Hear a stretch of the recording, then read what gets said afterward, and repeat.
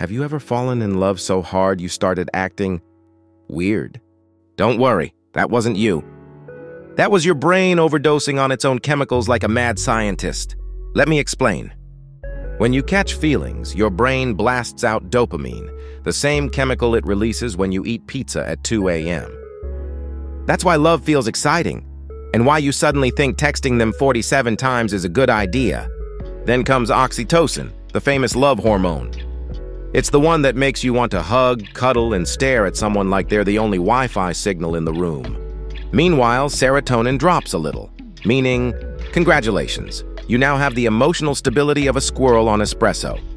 That's why early love feels amazing but also chaotic. And let's not forget endorphins, your natural painkillers. They're the reason you can spend hours with someone and not notice your back hurts, your feet hurt, or that you haven't eaten since yesterday. So the next time you fall in love and act a little silly, just remember, it's not your fault, it's chemistry, literally. Follow the Arisen call for more science that explains why humans do the things we do.